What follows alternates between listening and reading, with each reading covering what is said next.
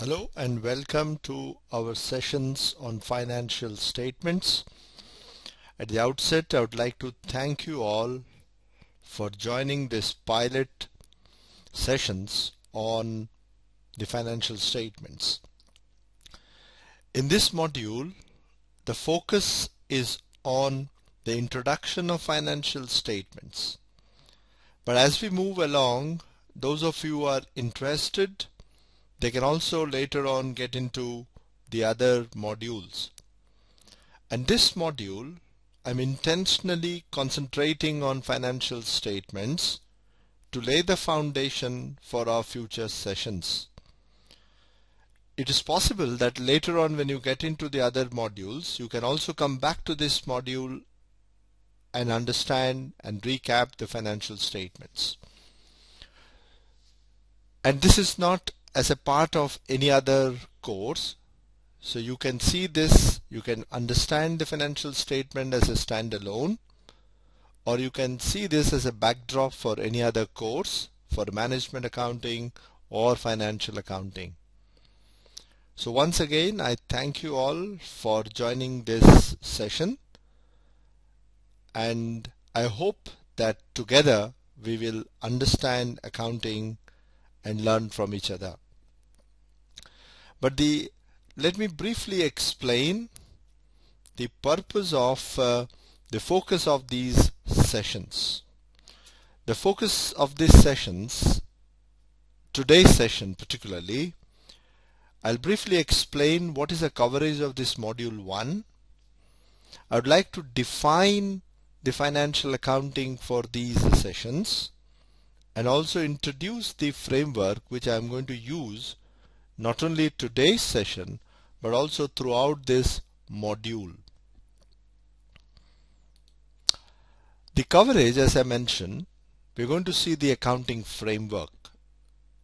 When I say accounting framework so instead of taking you through the rules of recording I'll briefly explain the framework which I'm going to use for the entire module. And we are going to discuss the accounting equation. As we move along, we'll understand the business decisions and accounting equation. Then we'll get into the financial statements, then business decisions and financial statements.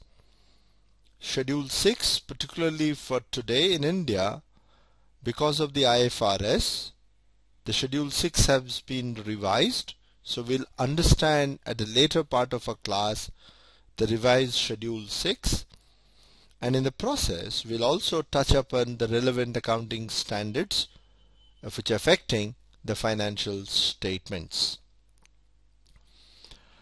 For us, not only for this session, for most of my accounting sessions, I use financial accounting or define financial accounting as a process of converting business decisions into financial statements.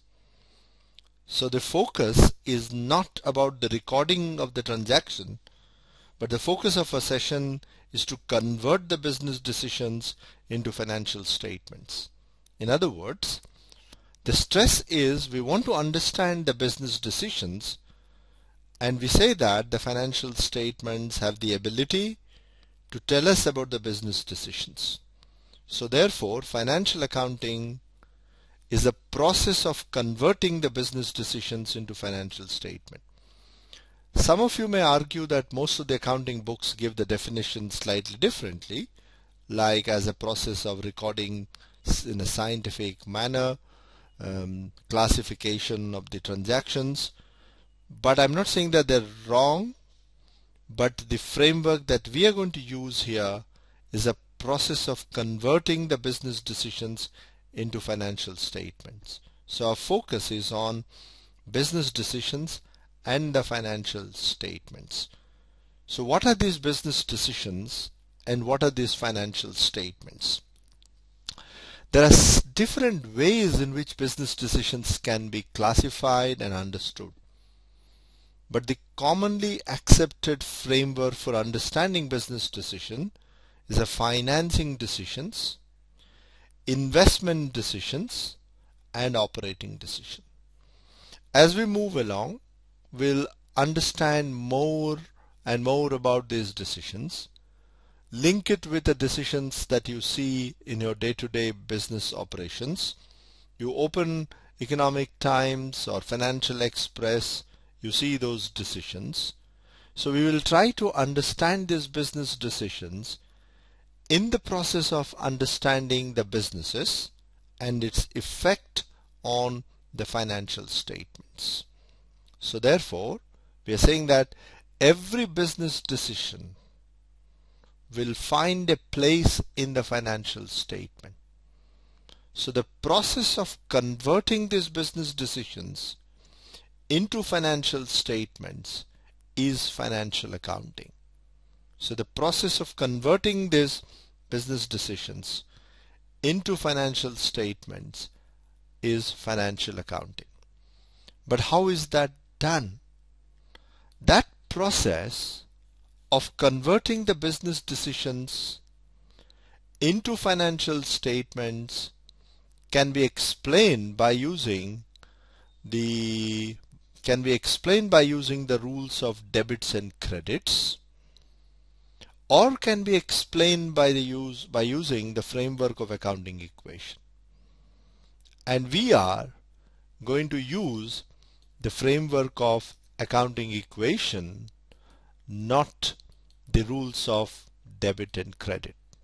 So for us the accounting we are going to understand the process of converting the business decisions into financial statements through the framework of accounting equation, not through the rules of debits and credits. Throughout our module, throughout our discussion, we are not going to touch the rules of debits and credits. However, if you have some questions, you can put that on the course kit or send me a mail. I'll be more than glad to answer your questions on the debits and credits too. So what is the process therefore? So the process that we are going to use, we say that every business decision, so let me write down that once again. We say that every business decision, every business decision will involve financial items will involve financial item and every financial item every every financial item will appear in the I'm sorry will appear in the financial statements. So business decision financial item and financial statements. So let me write down that once again. So the business decision, financial, so what are these business decisions? The business decisions are the financing decisions, investment decisions, and operating decisions. The financial items are, I'm just going to classify the financial items into five categories, incomes, expenses, assets, liabilities, and equity. All these financial items and equity. As we move along, we will see this classification and understand the definition. And these are very clearly defined in the conceptual framework of financial preparation of financial statements. And we already seen what are these financial statements. The financial statements are the balance sheet balance sheet income statement income statement and cash flow statement. So let me summarize at this juncture. I'm saying that every business decision will involve financial items and every financial item will appear on the financial statement and this process of converting the business decisions into financial statement we are defining it as financial accounting and we are saying that that can be explained through accounting equation. So what is this accounting equation? Accounting equation is an absolutely simple basic relationship of a business that the business can raise resources from different sources and these resources can be in a different forms. In other words, whenever there is a source or whenever there is an asset, whenever there is an asset and that asset should definitely have a source. So therefore, accounting equation says the sources has to be equal to the assets or assets have to be equal to the source and that is the accounting equation. An accounting equation is a foundation for accounting, is a foundation for financial statement. In today's session, I'll just introduce a basic accounting equation. Then I'd like you to do some exercise yourself. So the sources are, as we move along, we'll understand capital, profits and borrowings, and assets can be in any form. Let us take examples and understand that.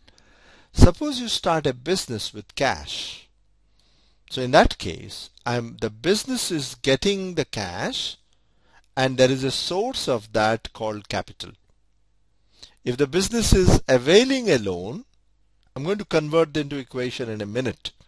If business is availing a loan, the business is getting cash and the source of that cash is a loan. When the business is purchasing stock, for cash, cash is going out and there is a conversion of cash into stock or increase in stock. Now let us stop here and prepare a small Excel exercise. So this is the way accounting equation looks like. So the sources are equal to assets. The first transaction is or a business decision is that you're starting a business with cash.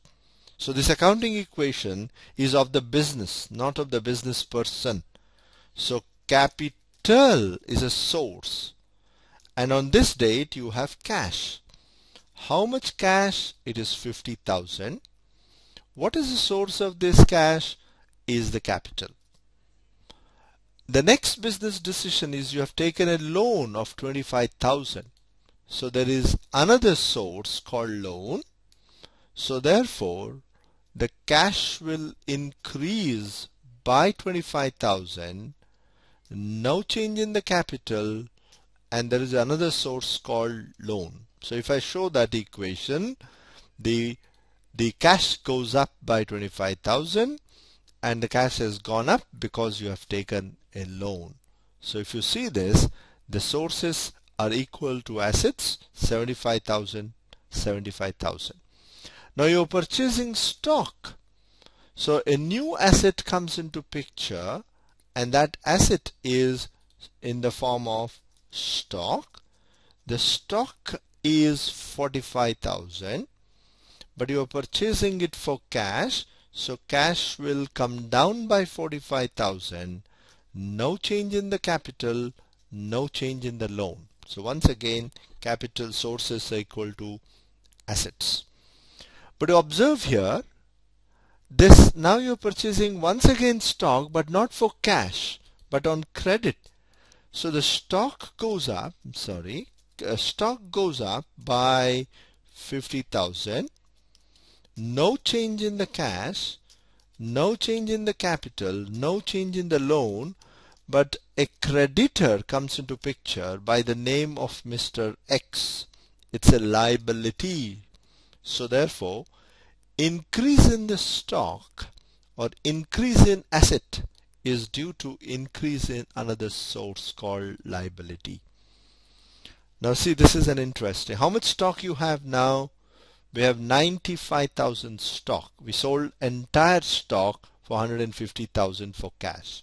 So cash goes up by 150,000 stock becomes zero because you sold off entire stock no change in the capital, no change in the loan, no change in X. But the total of the total of the sources as of now is not same as the asset. Sources is only 125. So where is the balance? The balance is called profit. How much profit you made? 155,000 minus 45,000 minus 50,000 so therefore your as the that is called the profit so the the, the business made a profit of 55,000 by selling the goods. At this juncture the purpose of giving this is this small simple exercise or transaction is to say that every transaction that you pick up, you undertake, doesn't matter whether it's a small business or a large business, they will affect the accounting equation and after every transaction the sources will be equal to the asset. That is the purpose of this example. So when you purchase the plant or a stock on credit, so the asset will increase, there is a liability increase. If you sell the plant for stock or cash, then there will be a decrease in the asset and increase in a cash. To summarize, we say that whenever, we can say that whenever there is a change in the, whenever, okay, accounting equation, always sources are equal to assets. Number one. And what are the sources we have seen? The sources of a business can be capital, can be loan, can be creditor, can be profit. Okay?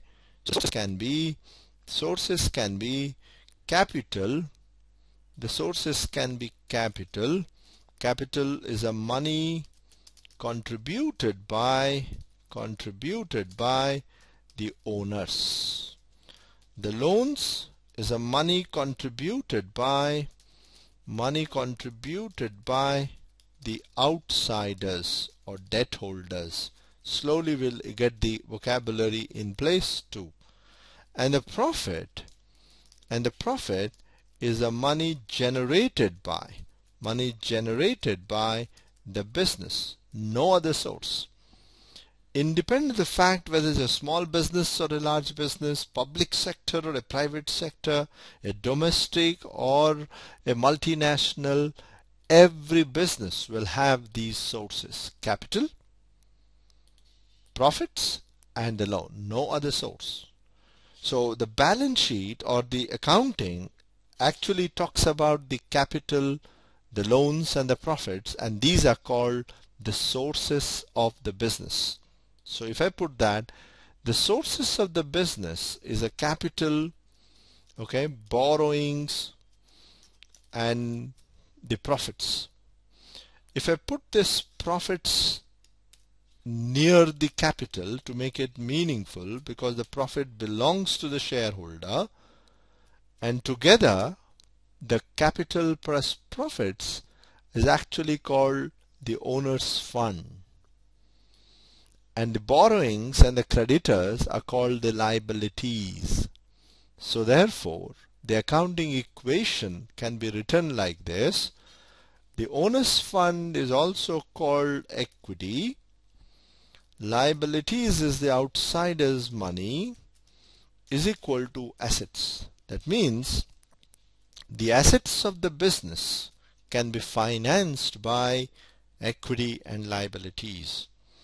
At any point of time, owner's fund or equity is equal to assets minus liability because owner's fund because the owner's fund is a residual claim of the shareholder.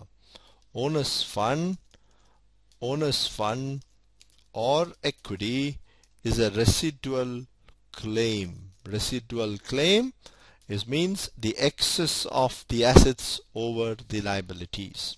I think I'll stop here and we'll observe these financial statements. I'm going to upload this Excel onto the course kit and also put some questions in the form of a transactions and I would like you to convert those transactions into accounting equation. As we move along, we'll make these transactions more and more complicated and observe the effect on the accounting equation. I'll also upload a brief note on accounting equation and the certain questions on accounting equations or the transactions which you have to convert that into accounting equation. Thank you very much.